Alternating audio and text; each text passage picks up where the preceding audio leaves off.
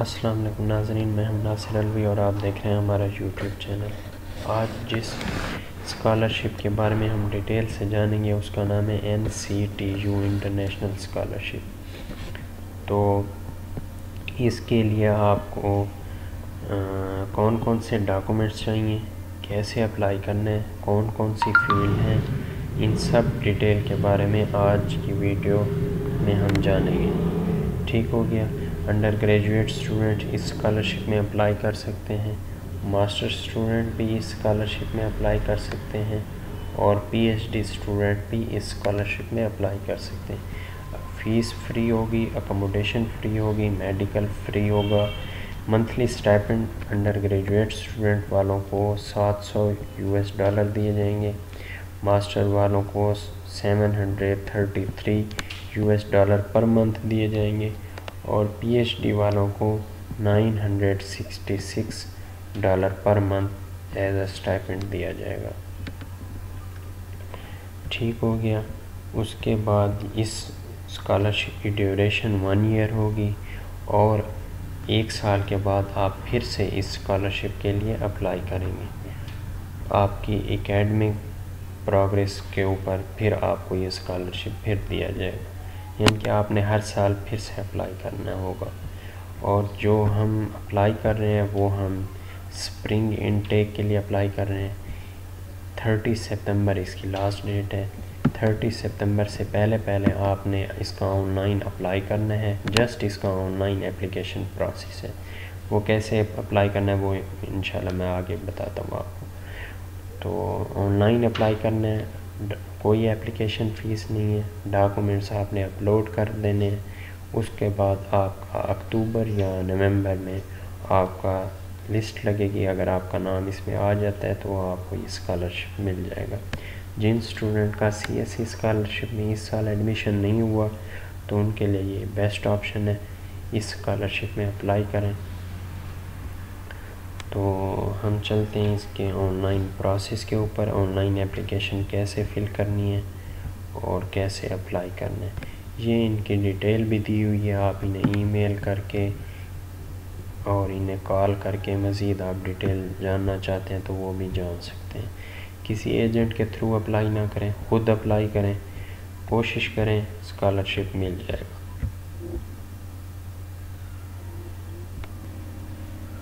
ये मैं इसके ऑनलाइन एप्लीकेशन प्रोसेस के ऊपर आ गया हूँ। ये लिंक मैं डिस्क्रिप्शन में दे दूँगा। आप ने डायरेक्ट इस लिंक पे क्लिक करना है और आप इस पेज पे आ जाएँगे। इस पेज के ऊपर आने के बाद आपने सबसे पहले अपना अकाउंट रजिस्टर करना है। फ़र्स्ट बॉक्स में आप अपना ईमेल रखेंगे। उसके बाद आपने अपना पासवर्ड सेट करना है। उसके बाद वही पासवर्ड कंफर्म पासवर्ड दोबारा इंटर करना है। और आपके ईमेल आई जो ईमेल आईडी आपने दिया था, उस ईमेल आईडी के ऊपर यूनिवर्सिटी की तरफ़ से एक मेल चली जाएगी और उसमें एक लिंक दिया हुआ होगा। उस लिंक के ऊपर आप जैसे ही क्लिक करेंगे, आपका सिस्टम में आपकी आईडी लॉगिन हो जाएगी। और वो कैसे होगी, मैं अभी आपको बताता हूँ।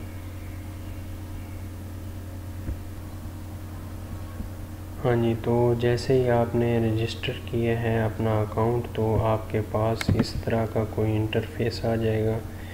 और सबसे पहले आपने यहाँ पे बताना है कि आपको इस स्कॉलरशिप के बारे में एडमिशन के बारे में आपने, आपको कहाँ से पता चला है? आपने एन सी टी यू की वेबसाइट लिख देने हैं फ्रेंड्स से पता चला है, और आपका लिविंग एक्सपेंस जो होंगे इन ताइवान, क्योंकि ये ताइवान में हम अप्लाई कर रहे हैं तो वो आप स्कॉलरशिप फ्रॉम गवर्नमेंट आपने क्लिक कर देने हैं और ये सबमिट कर देनी है और इसके बाद आपके पास जो आ जाएगा, इस तरह का प्रोसेस आ जाएगा।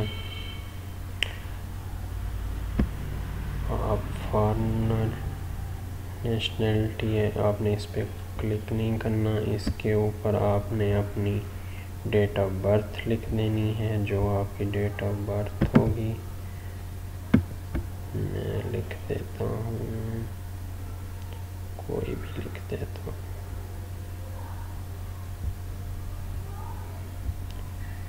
और उसके बाद मैं नेक्स्ट पे क्लिक कर देता हूँ। उसके बाद आपने अपनी नेशनैलिटी के बारे में बताना है। फादर के बारे में मदर के बारे में, ये ऐसे सिंपल एक सर्वे था एप्लीकेशन स्टार्ट करने से पहले। तो आपने नेक्स्ट पे जैसे ही क्लिक करने हैं तो आपके पास ये पेज आ जाएगा। इससे आपने, ये आपने रीड आउट कर लेनी है। एग्री कर लेना है। एग्री करने के बाद। ये आपके पास डिटेल आ जाएगी, आपको कौन कौन से डॉक्यूमेंट्स चाहिए, ठीक हो गया, आपने कैसे अप्लाई करना है। थर्टी सितंबर से पहले पहले आपने सारे डॉक्यूमेंट्स अपलोड कर देने। ठीक है एग्री पे क्लिक करते हैं।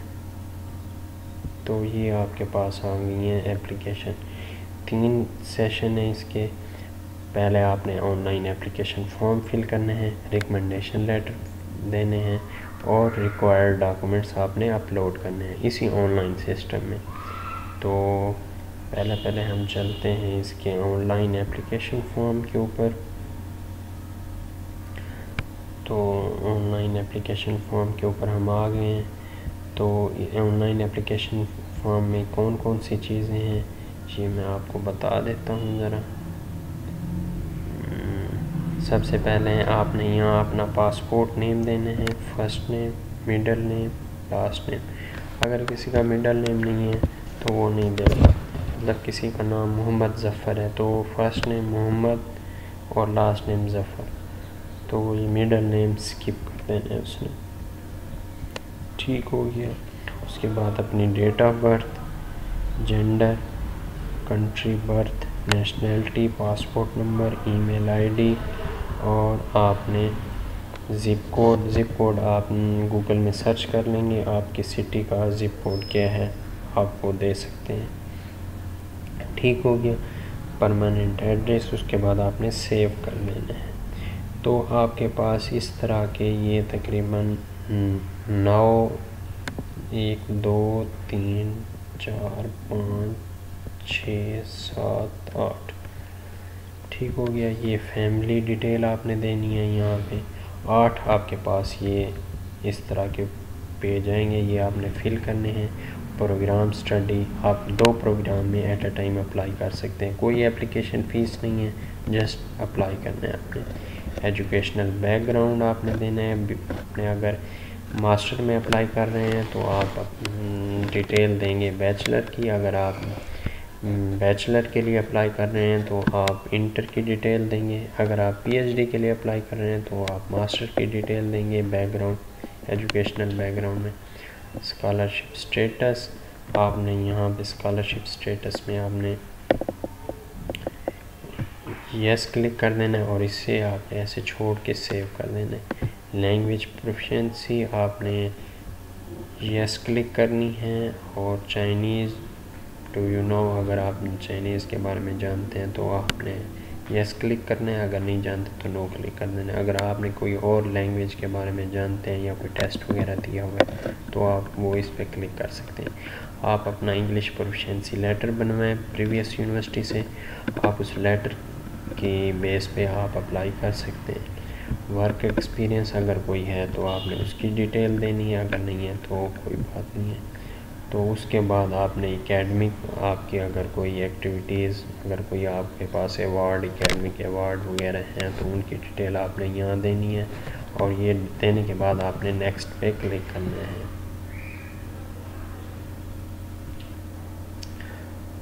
तो जैसे ही आप एप्लीकेशन फॉर्म कंप्लीट करेंगे तो आपके पास ये कंप्लीट हुआ हुआ, ये ऑप्शन आ जाएगा और रिकमेंडेशन लेटर की डिटेल देंगे तो ये भी कंप्लीट हुआ हुआ ऑप्शन आ जाएगा। उसके बाद आपने रिक्वायर्ड डॉक्यूमेंट्स आपने अपलोड कर देने हैं। उसके बाद नेक्स्ट स्टेप करेंगे, आपकी एप्लीकेशन कंप्लीट हो जाएगी।